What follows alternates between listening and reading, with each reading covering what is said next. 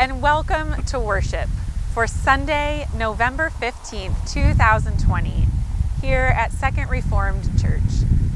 My name is Pastor Katie, and I serve here along with Pastors Steve and Sophie Mathonnet-VanderWell. We would like to thank the folks who help make our video worship possible. Behind the cameras are Jim Emmert and Lauren Blom, and our music is provided by Krista Wild, as well as our Central College scholarship students. We are so grateful for the work and the contributions of these folks so that we can worship safely and together. Our help is in the name of the Lord, who creates the heavens and the earth. Amen. O Lord, you take care of the earth, watering and making it rich and fertile. You soften the earth with showers and crown the year with an abundant harvest. The meadows are covered with flocks, and the valleys are decked out with grain. They shout for joy and break forth into song.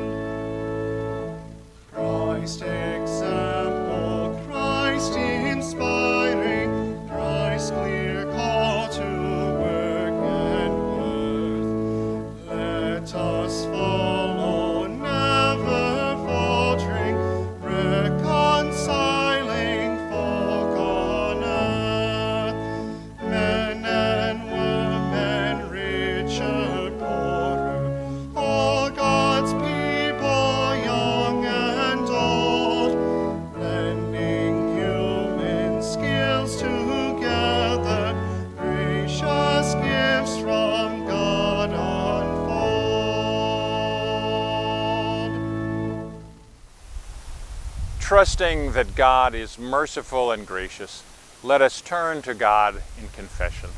Let us pray. Generous God, you are unstinting in your goodness and the blessings you shower upon us.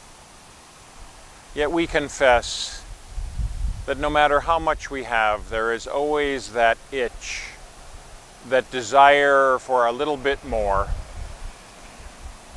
that something new will satisfy us. We covet, we grasp, we hold tight. By your Holy Spirit, open our hands and open our hearts that we might be generous people who find joy in giving and sharing, just as in Jesus Christ you have shared yourself with us. Amen.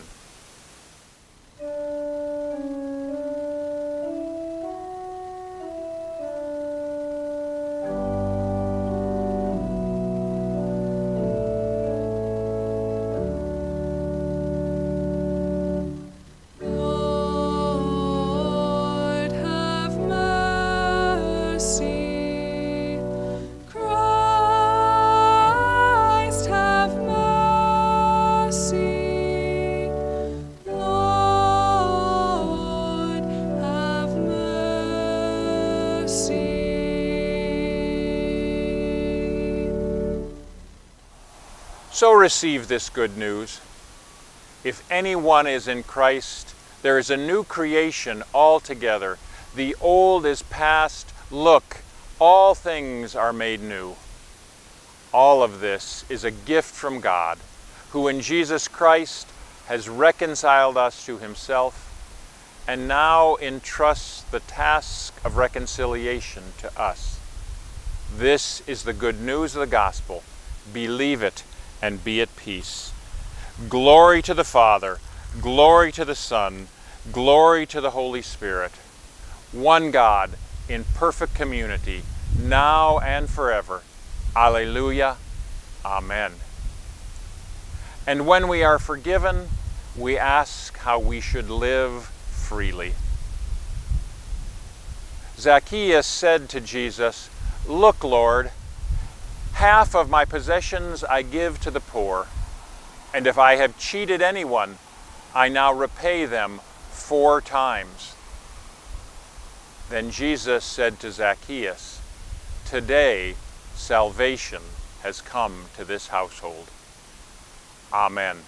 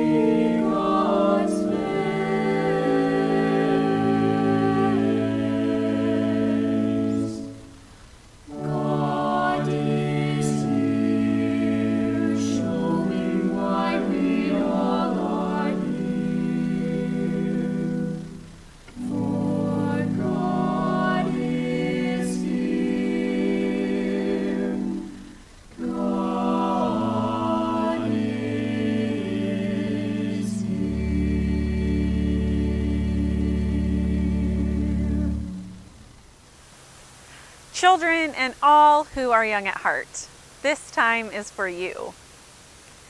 Today is our last day looking for the green man.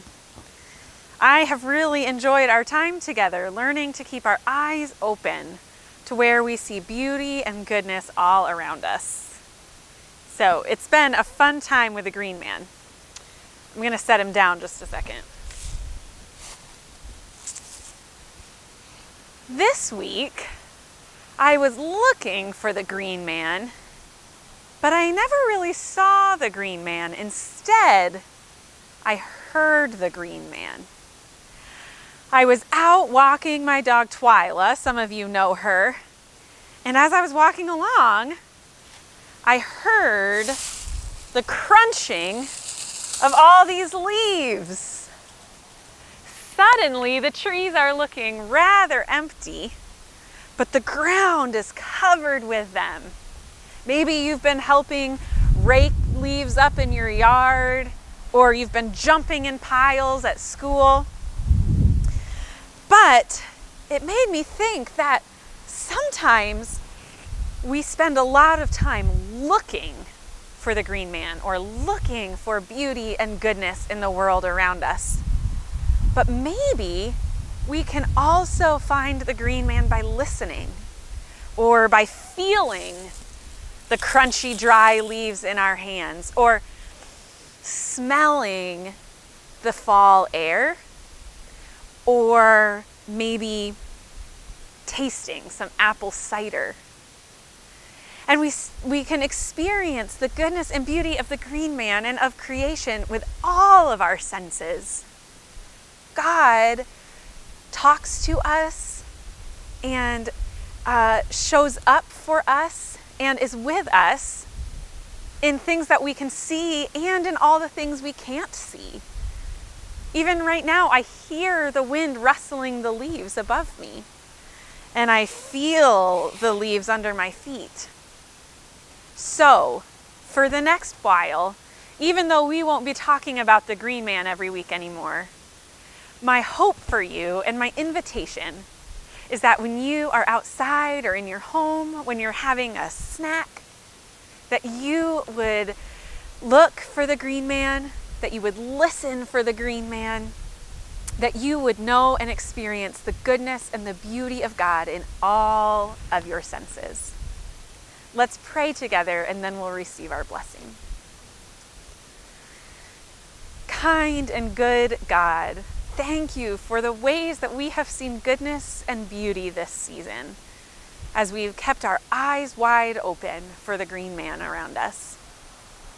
Thank you that we see goodness and beauty not just with our eyes, but that we can hear it, we can feel it, we can taste it and smell it. You are a God of all of our senses. We thank you for those good gifts. Thank you for loving us and for the beauty of your world. Through Christ we pray, amen. And now let's receive our blessing. Grow in wisdom, grow in stature, and grow in the love of the Lord. Amen.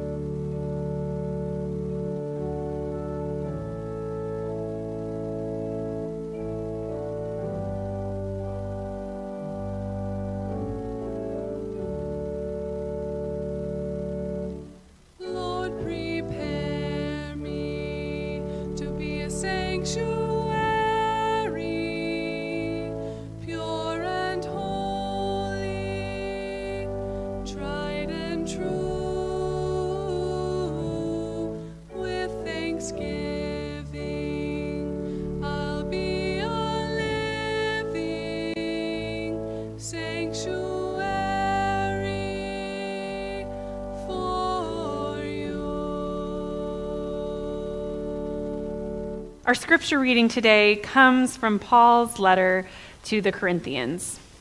We're wrapping up our sermon series today, and our reading is from the final chapter, chapter 16. So listen now for the word of the Lord.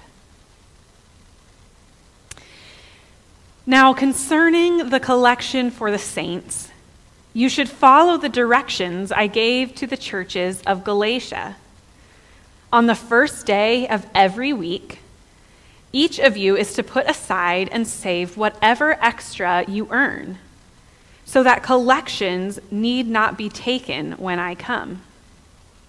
And when I arrive, I will send any whom you approve with letters to take your gift to Jerusalem. If it seems advisable that I should go also, they will accompany me. Keep alert. Stand firm in your faith. Be courageous. Be strong.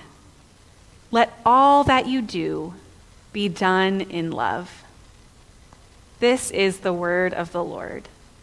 Thanks be to God. Okay. About 50 years after the events in the gospel, that is, the life and death and resurrection of Jesus, a severe famine came upon the lands all around the Mediterranean Sea, what was then the Roman Empire. Particularly hard hit was the area around the Holy Land and Jerusalem.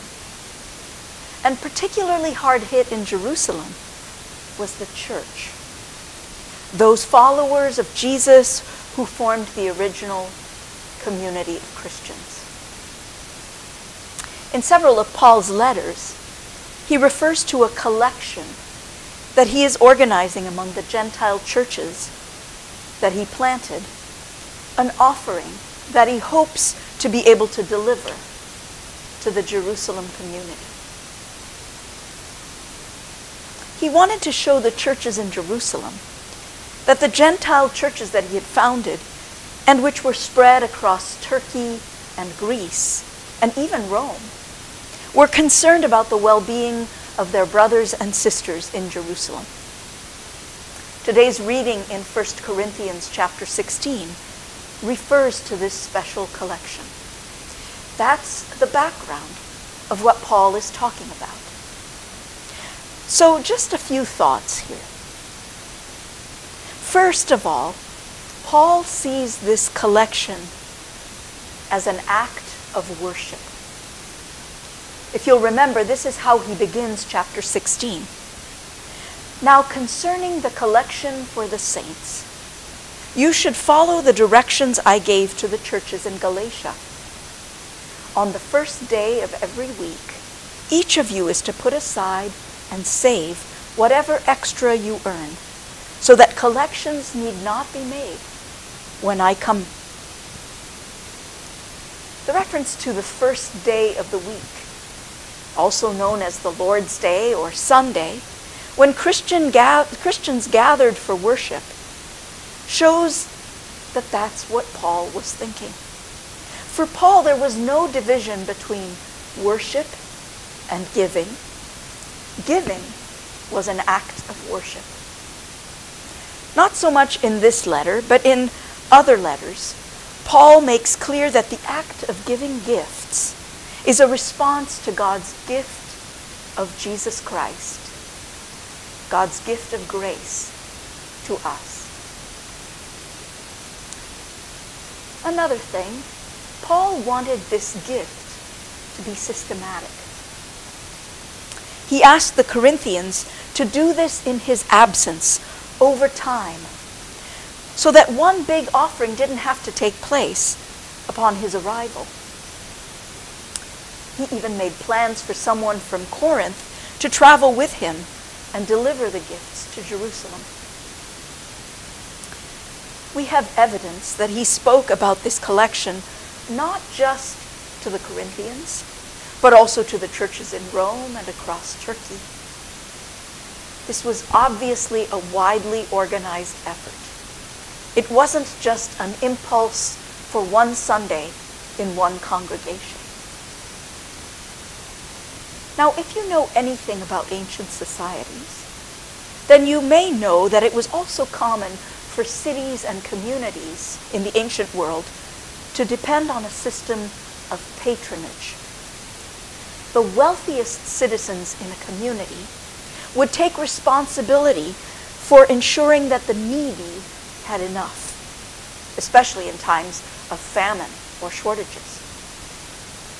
So in the church also, it would have been easy for leaders to develop a list of the wealthiest Christians in the city and to call upon them for support.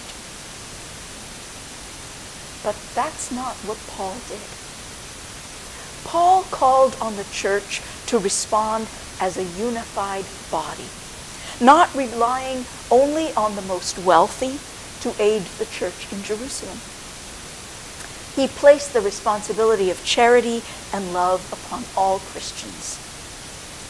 It should be noted, however, that each person was only expected to give in proportion to what they were able. A couple of months ago, many of you remember that uh, the derecho winds caused immense damage throughout large swaths of Iowa. And our deacons were wondering how we should help people in those affected communities. As you know, we decided to take up a special collection during the month of September to provide assistance and relief in Cedar Rapids. At the same time, however, we received a message from the people of the Jicarilla Apache Reformed Church in Dulce, New Mexico. You'll remember that a team from Second Church went down to Dulce two summers ago to visit and work there with the people on the reservation. Apparently, during one of their consistory meetings, one of the elders in Dulce said, How often have we received help from churches in Iowa? Maybe it's time for us to send some assistance back. So they wrote to ask if they could forward us an offering that they had collected for the victims of the derecho. And they did. And we included it in our gift. There is something so beautiful about that story. No one, not even the poorest, is exempt from being a participant in God's beautiful economy of caring for those who are in need. There's another story like that that some of you may have seen in the news. Many of you know that when COVID 19 first struck, it hit the Navajo and Hopi reservations of New Mexico and Arizona particularly hard. More Navajo and Hopi people became sick per capita than in 48 out of 50 states at that time.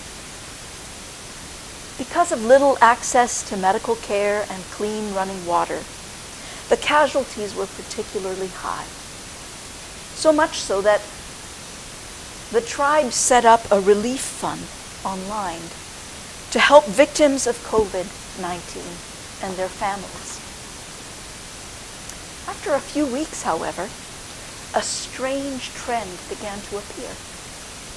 There was a steady stream of don- donations coming from Ireland. Ireland? One Navajo elder was so intrigued that he decided to investigate further. Well, it turns out that a young Irish journalist had seen this relief fund online and had tweeted something about how Ireland should return a gift of gratitude to the indigenous people of the United States.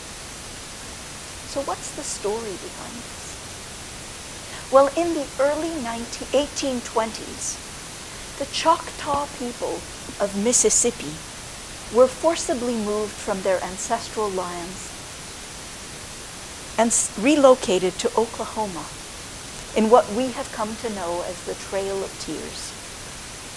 A large portion of the population starved to death during that long trek. The Choctaw had been settled in Oklahoma for less than 20 years when in 1847 they heard about the terrible Irish potato famine that was happening clear across the Atlantic Ocean to people they had never seen and barely even heard of.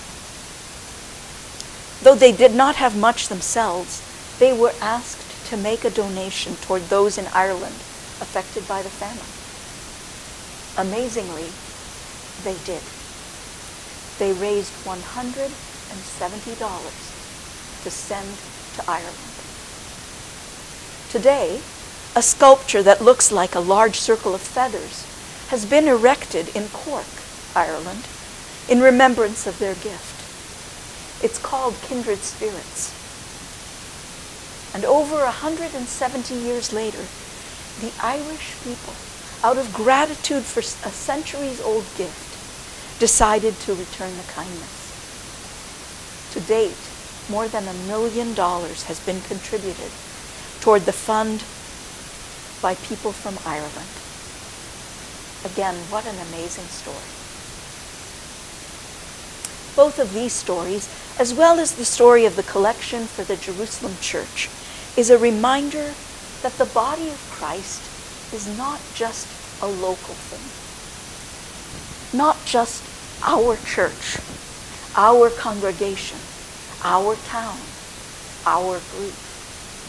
It is global and stretches beyond bonds that can be seen. Many of Paul's quarrels with the Corinthians and the collection, according to his second letter to the Corinthians, arose from their lack of understanding about why they should care to financially support people who lived so far away and who were so different from them. Paul realized that the body of Christ is not just here, in Corinth, in Pella. It was flung far across the world. And one way to support one another is to be generous with one another, not just monetarily, but also with our prayers, our encouragement, teaching, and learning from one another. One last story. When I served the First Reformed Church in Wynantskill, New York, there was an elderly couple there named Rolf and Wilma Gunderson. Because of their advanced age, they were seldom in church, but I visited with them regularly. When Rolf died in 1998, I officiated his funeral. The reception after the funeral was held in their home. Wilma was a genteel and elegant woman, gracious in so many ways. At the reception, she called me aside and whispered to me, Your husband is a tall and thin man, just like Rolf was.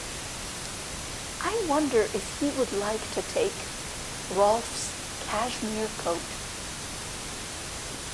Then she led me to the closet where this beautiful dark gray 100% cashmere full-length men's coat was hanging. She offered it to me to give to Steve. It was a coat that we would never have dreamed of purchasing, much too expensive. But Wilma thought that it could get good use by a minister. And indeed, it fit Steve to perfection. That was over 20 years ago. And to this day, Steve still wears that cashmere coat every winter for funerals, at graveside services, on Sunday mornings. It still looks as good as the day that Wilma gave it to him. And frequently we mention the Gundersons when Steve slips it on as he lives, leaves the house. How beautiful that Wilma's gracious act of generosity would involve something as practical as a coat, something that covers the body and keeps us warm. Generosity, giving, caring for others. These are basic building blocks for the body of Christ. So it's fitting that Paul's letter to the Corinthians, which focused so much on the physical body, but also on the church as the body of Christ and the church's body life, would end with a plea for generosity.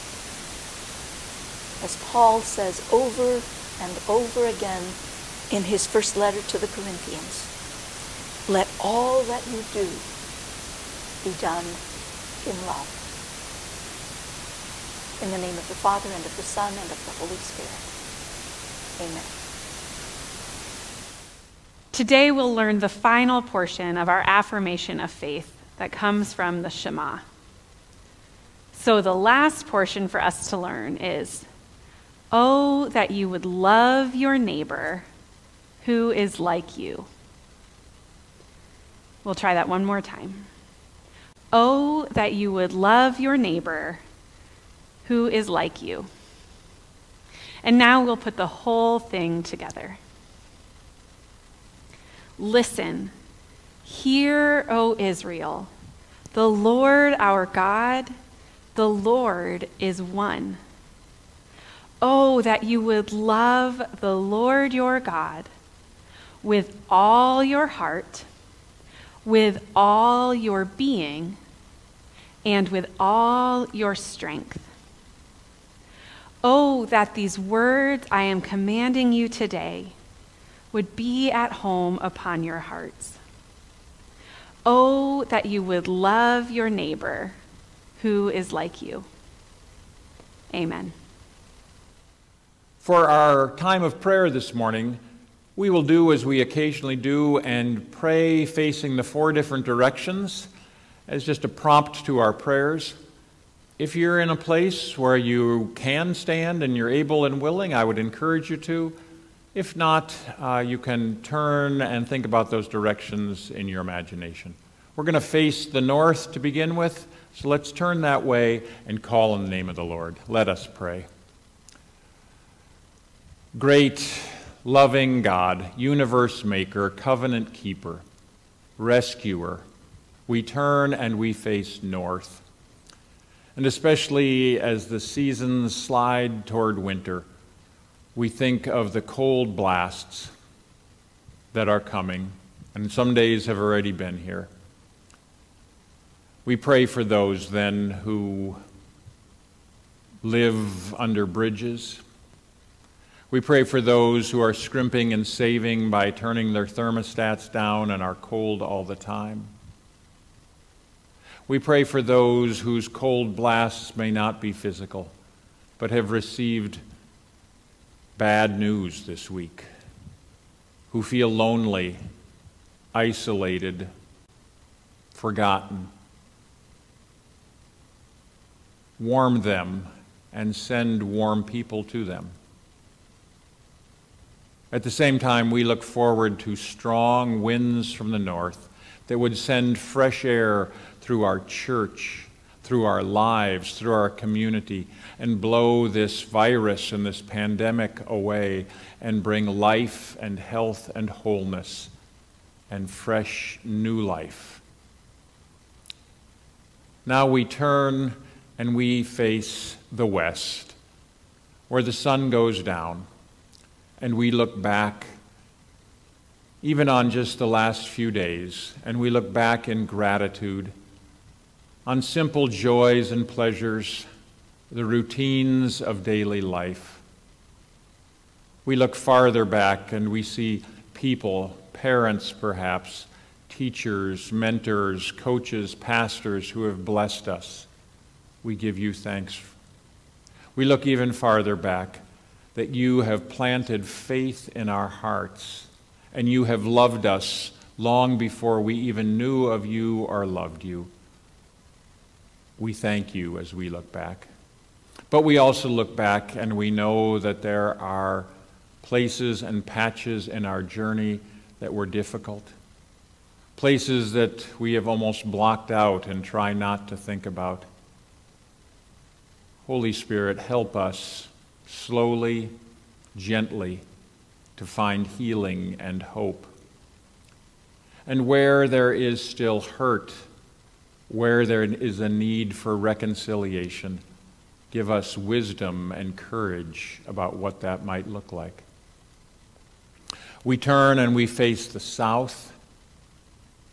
We think always of our friends in the churches south of us, our friends in Chiapas and Haiti and Taiwan and Turkey. Thank you for their vibrancy. Bless them. May the day come, in fact, it is already here, when we are blessed by them as much as we bless them. When we face south, too, we think of the sun low in the sky but still shining, and warm breezes. Thank you for those gifts. And it's our prayer this morning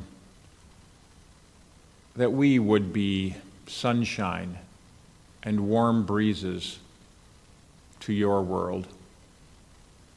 In words that encourage, in reaching out to the lonely, in sharing generously, in loving recklessly, that we might bring the warmth of Jesus Christ into your world. Finally, we turn and we look east where the sun rises. We look and we see our friends in the Netherlands. Bless them and their work and their family. But also, we look ahead to more sunrises and you know that even now we are probably making lists of things we must accomplish and looking at our calendars for the week ahead. Help us in a bigger way to trust that we walk into the future with you. And that in all of those events and activities and to do things, that occupy us, that our eyes might be lifted up, that we might see people around us, that we might engage them and listen to them and care for them and befriend them. Most of all, when we look east, we look and we see a manger, we see a cross, and we see an empty tomb. And we are reminded that Jesus Christ is risen from the dead, and so that we enter the future hopefully, confidently, no matter what we face. And that whatever this week or next month might bring, still our ultimate future, our future forever, is sealed in the grace and the love that you have poured upon us through the risen Christ. And now we join together and we say the prayer that this Christ has taught us, saying, Our Father in heaven, hallowed be your name, your kingdom come, and your will be done, on earth as in heaven. Give us today our daily bread. Forgive us our sins as we forgive those who sin against us. Save us from the time of trial and deliver us from evil. For the kingdom, the power, and the glory are yours, now and forever. Amen. We closed our series on 1 Corinthians and body life by looking at Paul's call for generosity. And now it's time for us to think about being generous. And yes, that includes financially and our offerings. In the next few weeks, I'm sure you'll be hearing from our deacons because we rely so heavily on giving at the end of the year. But as we often say, generosity is much more than financial. It's the way we give our time, we listen to people, we have open hearts and open hands. So we invite you now to think about what does it mean to be generous for you this week? Who can you give to and give life to? Who can you share with and even receive from? Bless others and be blessed by them. And most of all, right now, to say not only to others, but just take a moment to say, Now I give my life, my heart, my soul to Jesus Christ, my Savior. Amen.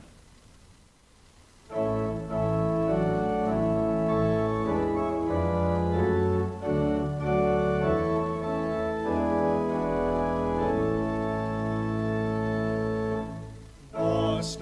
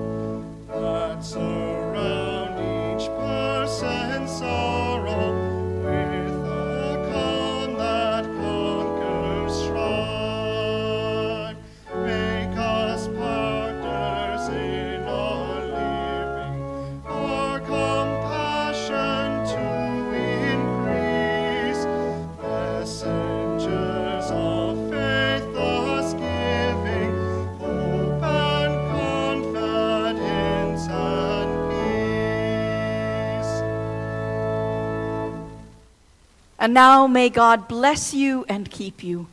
May God's face shine upon you and be gracious to you. May God's countenance be lifted upon you and give you peace. Go in peace. Amen.